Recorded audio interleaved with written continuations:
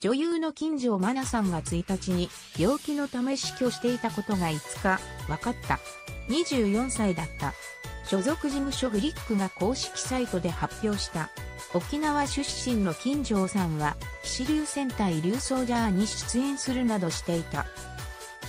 6月からツイッターの更新が途絶えていた。